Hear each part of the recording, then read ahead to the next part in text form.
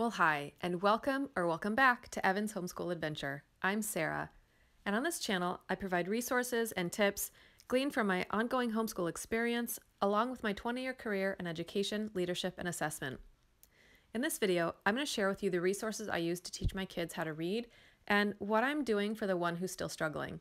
So let's go ahead and get started. When I started structured reading lessons with my kids, my twins were four and my son was five years old. This was our very first year of officially homeschooling, and while I did have some previous experience teaching ELA or English Language Arts to grades K through 3, I had never taught anyone how to read from scratch. Before we started the structured reading lessons, I incorporated these five reading readiness skills into our daily routine. I wanted to share this slide with you in case you've got kids who are at this pre reading level and need to really incorporate these skills before you go on to a structured reading program. And if there's interest, I'm happy to do a video that's just focused on pre-reading skills. But for now, I just wanted to highlight that for teaching letters and the sounds that they make, the Leapfrog Learning's The Letter Factory DVD was incredible. My kids watched that maybe twice a week for two weeks and had it down. The other thing I wanted to highlight is the importance of reading aloud, how critical that is in order to prepare kids for formal reading instruction. So, like I mentioned, I had never taught reading from scratch before, and I knew I didn't want to mess it up. So, when I looked for a curriculum, I had very specific criteria. Number one, it had to be foolproof. I was looking for as close to a scripted curriculum as I could find. Number two, it had to be a phonics based program. And third, it had to be proven to be effective. So, after a lot of research, this is what I found and decided to use. This is Teach Your Child to Read in 100 Easy Lessons. This was written by Siegfried Engelmann, Phyllis Haddox, and Elaine Bruner.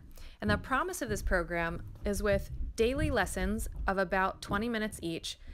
After your kid completes the 100th lesson, he or she should be reading on a solid second grade level.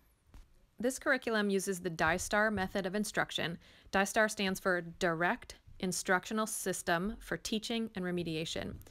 This is a scripted, phonics based reading program, and it was created in the 1960s to help kids from low income families improve their language skills and their reading comprehension.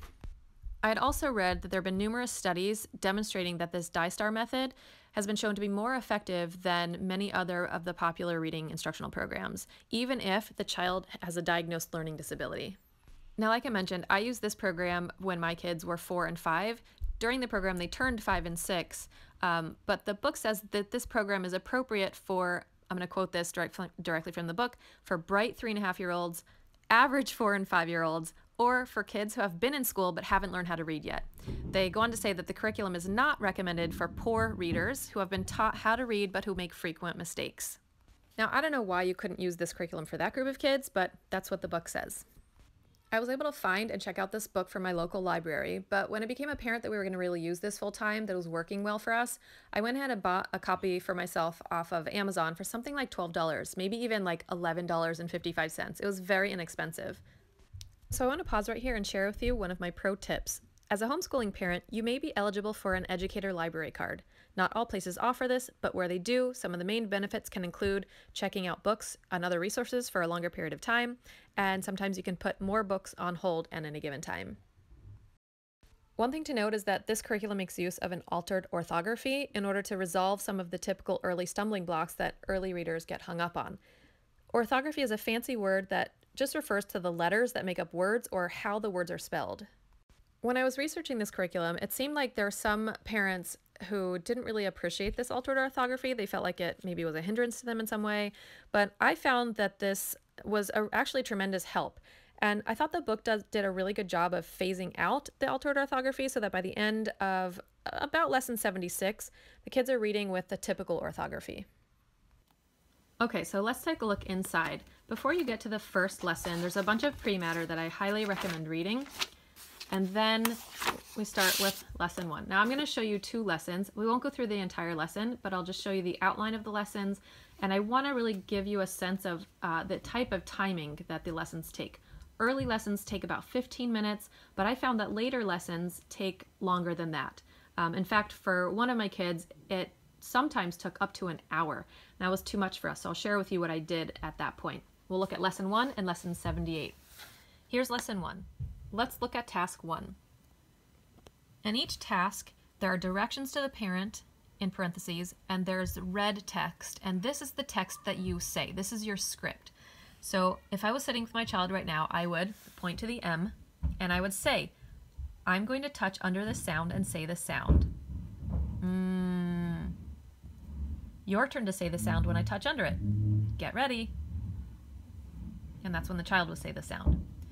If your child uh, says something wrong uh, or is not responding, then it gives you sort of a, a way to correct the child. And then we get down here, I'm touching the first ball here. Again, get ready. And down here, we're pointing to the S. So in this first uh, lesson, we're introducing M and S, or they don't call them by their names yet. So this is the M, and this is the S. They get into naming the, the sounds later on. So here we're pointing to the S, I'm going to touch under the sound and say the sound. Your turn to say the sound when I touch under it. Get ready. And then a correction, and then another opportunity for practice. Again, get ready. So in this way, the tasks are set up. So lesson one is composed of six tasks. We have three tasks on this page and three tasks on this page. The last task of every lesson is sounds writing. So the kids are getting a chance to learn how to write the new letters. I didn't do this with my kids because I had I was using a different curriculum uh, to teach my kids how to write their letters. Um, so we just omitted this last task in each of the of the lessons. But each of these tasks for the first, I want to say 50 to 70 uh, lessons, each task goes pretty quickly. But as you progress through the book, Later lessons take much longer than 15 to 20 minutes. Here we're going to take a look at lesson 78 and you'll see that each task takes much longer than the early tasks. In fact, some of these later lessons took one of my kids up to sometimes an hour, sometimes even more than that to complete. What I did at that point was use our visual timer. At the beginning of the lesson, I would set the timer for 15 to 20 minutes, and when the time was up, my kid got a choice whether he wanted to continue for another five minutes or pause for the day and pick up the next day. So sometimes these later lessons took us two, sometimes even three days to complete. So let's take a look at lesson 78 and you'll get a sense of why these later lessons take longer. So in task one, the kids are reading each of these words. In task two, they're saying each of the letter names of the word before they read the word. Here, they're reading each of these words in what they call the fast way. And then they're reading this story. And they have set up here that the child is to read the story twice. The so the child reads the story the first time, and the second time through, there you're going to pause at each of these letters to ask the questions that are outlined here. So after those two readings, there's a picture comprehension section, and you're going to ask the child a bunch of questions about the picture, which is related to the story. And then finally, the writing letters, which again, I skipped.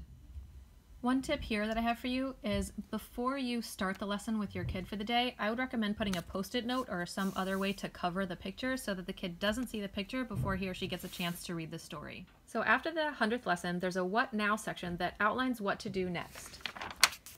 There's a, a list, an ordered list of books to continue the instruction with, along with four steps to scaffold the extended reading lessons.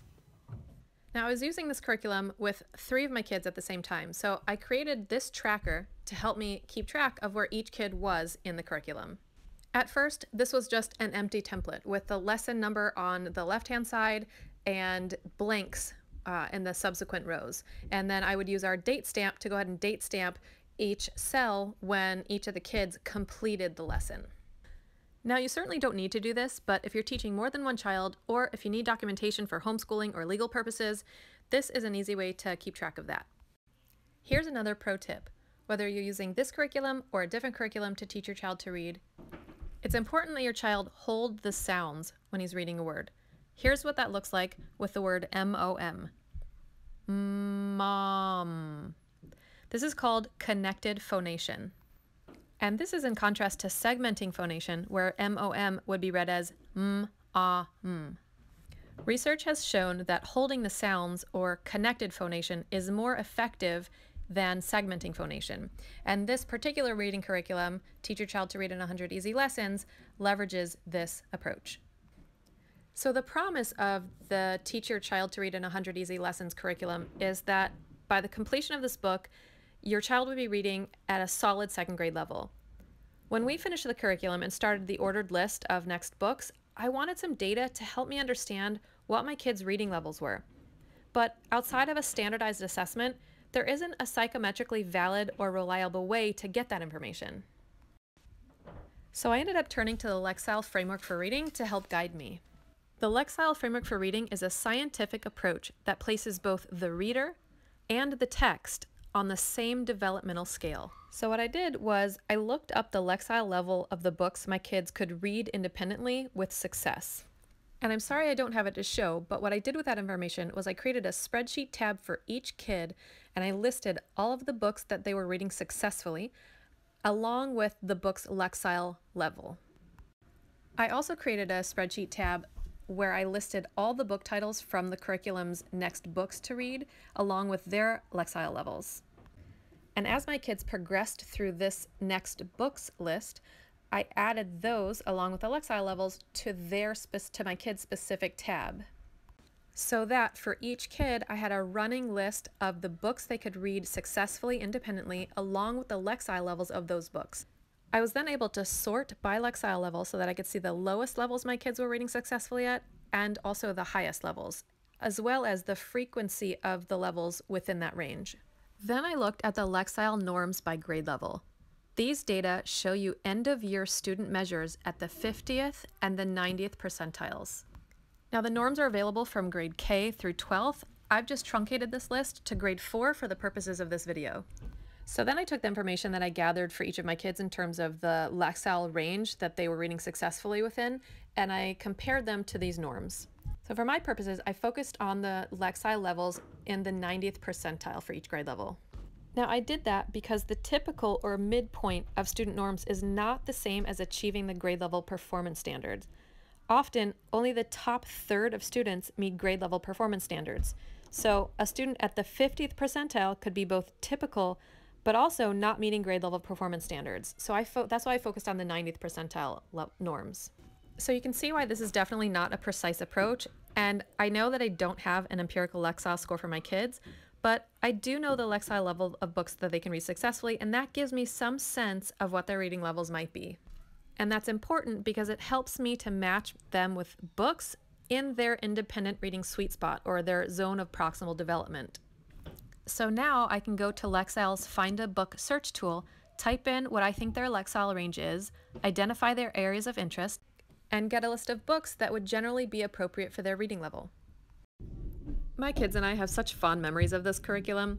I would snuggle up on the couch with each kid, one on one, and we'd do the lessons together. It took us about a year and a half to complete this curriculum, and we didn't do it daily. We probably got to it four, sometimes five days per week. My twins were five years old when we completed this curriculum, and they were reading on a solid second grade level. I didn't use any other reading program with them after this, but they have both been reading independently since we completed the program. They really love to read, and at this point, they just turned six. They are fluent readers. They've transitioned from learning to read to reading to learn. My son was between six and a half and seven when we finished, and although he was reading at probably an early first grade level, he was still struggling. This curriculum definitely was not enough for him, and he needed more structured phonics instruction after this program. I think this has more to do with his possible neurodiversity than the efficacy of the curriculum that we used. So after doing a little bit more research, I found and started using the Explode the Code curriculum workbooks with him. Explode the Code is a research-based, multisensory program geared to improving literacy with direct, systematic phonics instruction. It's an Orton Gillingham-based program and is offered as either a series of printed workbooks or online. Explode the Code came highly recommended, and one of the reasons I chose this program is because it's used as an RTI reading intervention. RTI stands for Response to Intervention, and it's an instructional approach that provides early intervention services to struggling students to improve their skills. I'll just take a moment and show you inside. This is the first book. There are several books in this series. You can see there are eight, and then between each book, there's like a half step book. So there's also a one and a half, a two and a half, a three and a half, etc. And then beyond this, there's something called Beyond the Code. So there's a lot offered in this program. So I'll just show you inside this first book so you can get a sense of the approach that they take. Here's the table of contents for this first one. And here is the first lesson. Here they're having to find the picture that begins with the sound of the letter. So addition, astronaut, apple. Here they're finding the same word and circling it. Here they're writing, getting some practice writing the letters. Here they're reading hat and they're copying the letters and then they're circling the appropriate icon. Here they're starting to spell. So this is a rat, so they're looking for the er, er sound. Er, at. They're looking for the T sound there and then they're they're writing out the letter, or they're writing out the word. Here they are matching the um, where's the rat? Down here. Here they're matching the words to the icon and they are, they're writing, they're writing that word.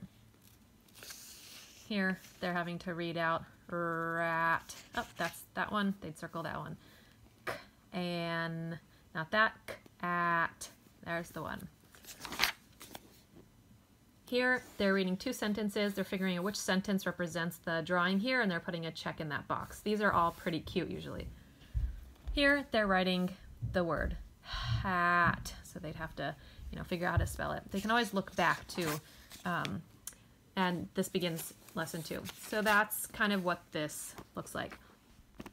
So my son has completed the first work workbook in this series, but the more I get to know how he learns, the more I think that the online version would be a better fit for him. So I recently purchased a one-year license for Explode the Code online. And I'm really excited about that because the online version is appropriate for tiers 1, 2, and 3 intervention under RTI, and the workbooks are only appropriate for tiers 1 and 2. Here's another pro tip for you. Once you know what curriculum you want for almost any subject, always look at the Homeschool Buyers Co-op first. It's free to join, and they offer deep discounts on what they have. For example, when I was looking to buy the one-year license for Explode the Code Online, on the Explode the Codes website, it would have been $65, but on Homeschool Buyers Co-op, it was only 35, plus a $5 uh, processing fee, so it was $40 in total. And finally, while we were using the Teach Your Child to Read in 100 Easy Lessons curriculum, I also supplemented with these early readers. We started with the Bob's books and then progressed to Miss Rhonda's readers, and then to my first I Can Read books, and then to some of the Dr. Seuss board books, and then to Elephant and Piggie books and beyond. I'll go ahead and put links to these in the show notes, but you can probably find these all in your local library. So that's the approach I took to teach my kids how to read. It worked very well for my twins, and they're now fluent readers. They're reading to learn. And while my son may not yet be reading on a second grade level, he will get there, and the Teach Your Child to Learn in 100 Easy Lessons gave him a great start. Given how well this worked, this is the approach I plan to take with my now two-year-old when she's ready for structured reading lessons. Well, thank you so much for watching. If there's a curriculum that worked well for your kids, especially for diverse learners, please share in the comments section below. And if you found value in this video, please consider subscribing if you haven't already, hitting the thumbs up button, and the notification bell so you're sure to catch my future videos.